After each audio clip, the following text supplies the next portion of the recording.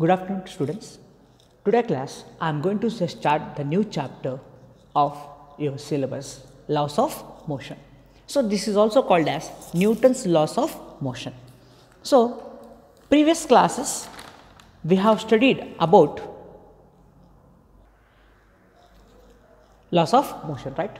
So previous classes we studied about a motion of a particle in a straight line and in a plane. In that chapter we have not bothered about why the particle is moving with particular velocity, what is the reason behind to get that velocity of the object? Because in that it is a pure branch which we have discussed what? Kinematics. What is kinematics? Already we know that. It is a branch of physics which deals with study of motion of objects without considering the cause of motion. So, we are not bothered about what is the cause behind the motion of that particles, but this chapter come under a branch of physics called dynamics. What is dynamics? The same way, what is that?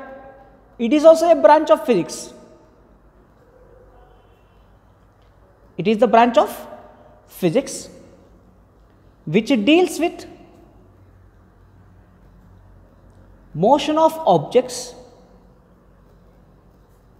which deals with motion of objects by considering the cause of motion. By considering what ma? Cause of motion. So it is a branch of physics which deals with motion of objects by considering the cause of motion that is called what? Dynamics. So this chapter already we said that this is also called what? Newton's laws of motion. So as you know the famous scientist Isaac Newton has explained the three laws of motion those are called what Newton's laws of motion. So, before Newton there is one fallacy. What is fallacy is very simple that is a failure means what we thought is false that statement has explained by Aristotle Aristotle's fallacy. What he explained is there is requirement on external force to make a body move in uniform motion. Means if a body is moving with uniform velocity u, he said that an external force is required. Means without external force, there is no motion of object. There is no motion of objects. So, we also think that okay to start a vehicle to run the vehicle we require some external force. But what is the actual condition? Let us take i want to prove this is a false statement. Let us take an, a small experiment. Take a ball and apply some force. The body starts moving uniform velocity. After some point it comes to rest. So to come to rest there are several factors. If it is a smooth surface or horizontal rough surface. Based on the surface, we are considering that it comes to rest early or faster we come know that because there are some external forces are acting on this body to make the body to come to rest. For example, take one more example.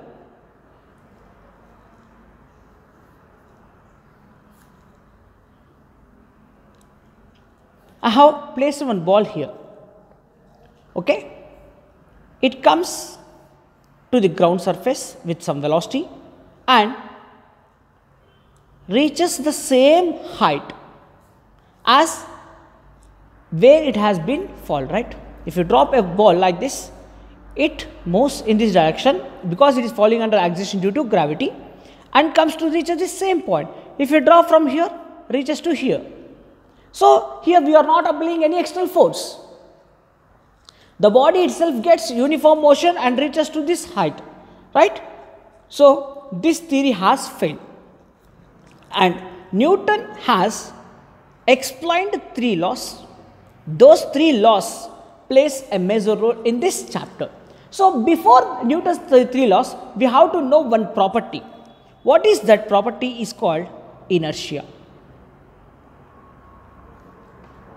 Very very important property What is the property ma? Inertia. Even for it is applicable for human beings also. What is this property? Let us see that. What is inertia? Inertia is nothing but according to this definition, if a body is in rest, it wants to be at rest. If a body is in motion, it wants to be in uniform motion. Means it does not, a body which is at rest does not want to move. A body which is in motion does not want to be at rest. So, what is the logic? For example, you are there, we students, what will do? We won't study until the exams come, means until a lecturer will ask us to study, we won't study, right? So, we want to be free time, we will enjoy. So, here what is the important thing we should learn? We are the persons, we are the human beings or the materials, all materials in the universe opposes the change, resistant to change means they do not want to change. A body is at rest, wants to be at rest. A body is in motion, wants to be in motion. So, they do not want to change. That property is called what? Inertia. So, that is the inherent property, not the external property, the inherent property that present inside the body which means what?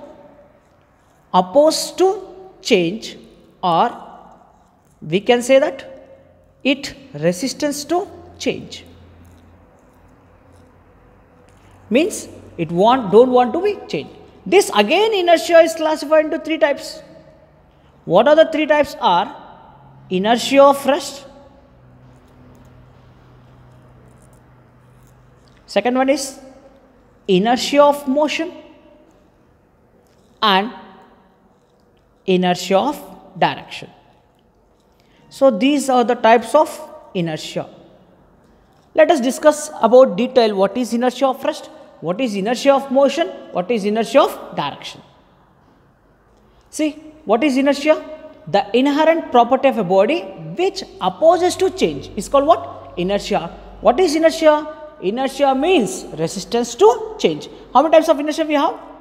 Inertia of rest, inertia of motion and inertia of direction. Let us know detail one each and everything. First one is what ma? Inertia of rest. What is inertia of rest? It is the inherent property of the body to remain in the state of rest unless acted upon by an external force. So, it is clearly explained that what? A body is at rest, wants to be at rest until when?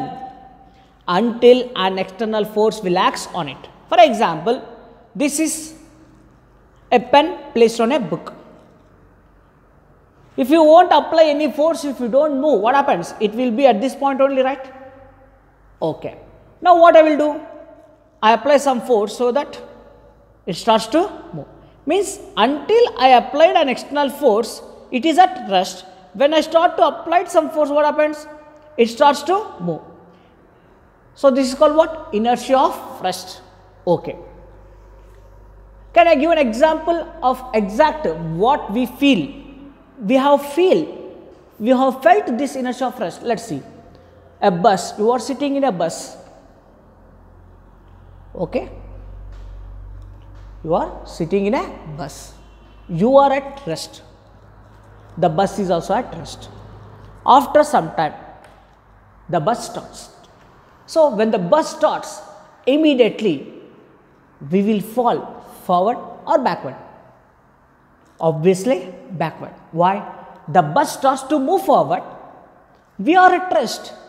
We are at rest. What we will feel that? We are at rest. We want to be at rest. We don't want to move. So, we will fall backward.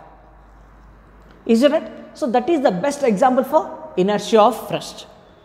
Next one. The same thing can apply inertia of motion.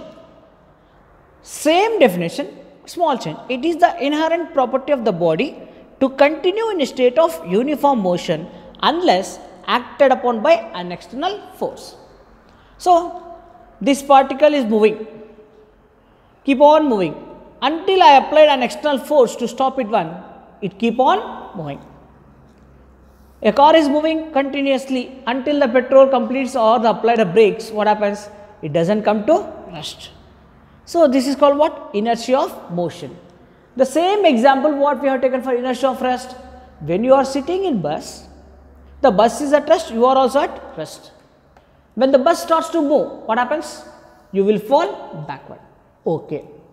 The bus moving. At some place the stop came or the speed breaker came. What they will do? They will slow down or they will apply, they will stop. At that time what happens? We will fall forward, right? Why we are falling forward? We are in motion, we want to continue that motion. So, we will fall forward. That is called what? Inertia of motion. Next one. The same thing can apply for inertia of motion is for example, you are in bus, same bus, you want to step out, the bus is in motion means you are in motion with the bus means your velocity is equals to velocity of bus. When you step out, you are in contact with earth. So, your lower body is in rest and upper body is in motion. So, that is why they ask us to step out backward because obviously we will fall forward and they will ask us to what? Step out forward. Clear? So, that is what? Inertia of motion. Next one, inertia of direction. This also we experience it, right? It is the inherent property of the body by virtue of which it is unable to change the direction of motion unless acted upon by an external force. So, you are moving in the same bus or you can change the bus to car. You are moving in a car, suddenly a circular turn came, means you should change your direction to the car turns to left. The car turns to left. Then, because we are moving in motion, we do not want to change, what we feel that we will fall, we opposes the motion, right? We oppose the change of direction. So, if the car turns towards left, we fall towards right. If it comes towards to right, we will fall towards left. So, we opposes. So, obviously, when you turn the steering to the left without applying an external force, after the circular turn, the wheel means the steering turn to right direction. So, these are all the examples or the incidents what we face every day is we can explain based on the property called what ma inertia. So, what is inertia? It is the inherent property of a body which opposes to change is called what inertia. Inertia means resistance to change. So, there are three types of inertia, one is inertia of motion, one is inertia of rest, another one is what? Inertia of direction, okay, right. So, based on property of inertia, we are going to explain, not we, Newton has explained first law. First law is based on law of inertia. What he explained is, every body continues to remain in its state of rest or of uniform motion along a straight line unless it is compelled by an external force to change the state. As we said, right? The body is being at rest or in uniform motion until what? An external force act. So, the same statement has explained that every body in the universe wants to be continued at state of rest or in uniform motion until when an external force act on it to change its state. That is called what? Newton's first law. So, this law is based on what? inertia right. So, we can say that it is also known as it is also called as what law of inertia. It is also what ma law of inertia. So, based on inertia we have two types of references are there inertial frame of reference and non-inertial frame of reference. What is inertial frame of reference and non-inertial frame of reference? Let us see. Inertial frame of reference and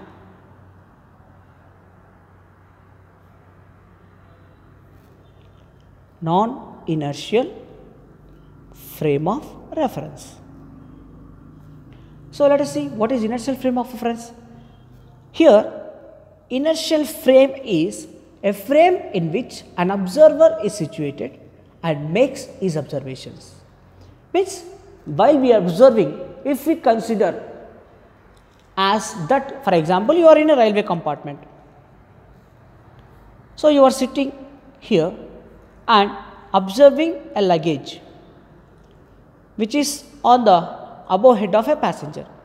So you consider the railway platform as your frame of reference. With you this is at rest if i state for example if i stand outside if I consider the platform which I am standing is frame of reference, this is at motion.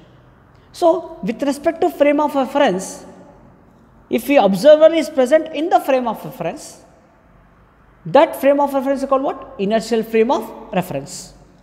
And you consider this as origin and all the variables. What are the variables can? Displacement, velocity, acceleration can be explained in terms of coordinate system.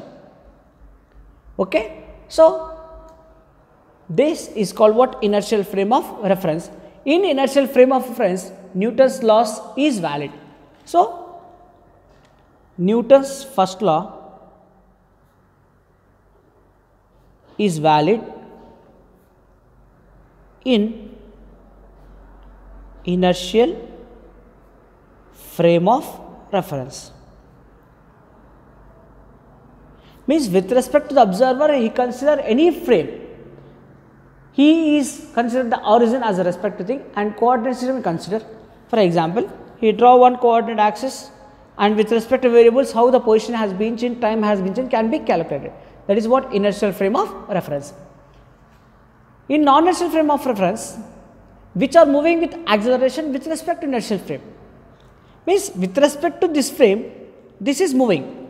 For example, this is a rest constant. With respect to this one, all are varying, we can easily calculate. But here, if you consider the frame of reference, which is keep on changing, having some acceleration, then those are called what? Non-inertial frame of reference. So, Earth is rotating about its own axis and has centripetal axis due to rotation. Hence, the frame of reference attached to Earth is non-inertial for astronomical observations. But for us in laboratory, Earth is considered as inertial frame. If you go outside the Earth, for astronomers, Earth is rotating, so it is accelerating. So, it is considered what? Non-inertial frame. So, Newton's first law is not valid in non-inertial frame of reference. So, these are the types of inertial frame of references. So, in this class we discuss about inertia, types of inertia, right. What are the types of inertia we have? Inertia of direction, inertia of motion and inertia of rest. By using this property of inertia, Newton explained first law that is called what? First law of motion is also called what? Law of inertia. What is Newton's first law of motion? Every body continues to remain in its state of rest or of uniform motion along a straight line until unless act, it is compelled by an external force to change its state. Now, we said that when an external force acts on a body, it is going to change the state of a particle. It can make a body in motion to rest or a body in rest to motion. So, we require to know one more quantity called momentum. So, the new quantity we are going to learn. So, what is that? Momentum. What is momentum? Is the capacity of a body for imparting velocity to another body. Or simply we can say that it is defined as the, let us take that,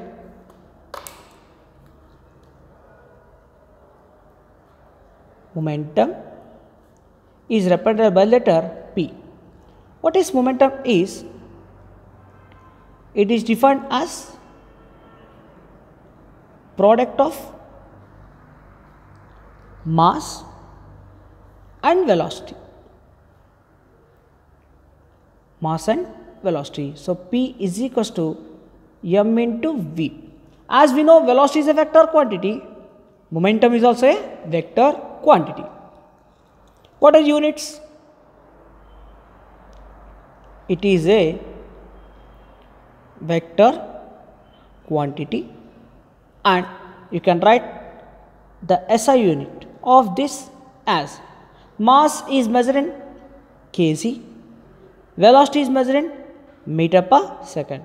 So, kg meter per second and the dimension formula is kg m distance L second inverse so T inverse. So, momentum is the quantity which has the capacity of importing velocity to another body and as measured as the product of mass and velocity. So, P is equals to m into V, it is a vector quantity because velocity is a vector. So, SI unit is kg meter per second and dimension formula is mlt power minus 1. So, next class we are going to discuss the other two laws of motion. Clear? Yes, thank you.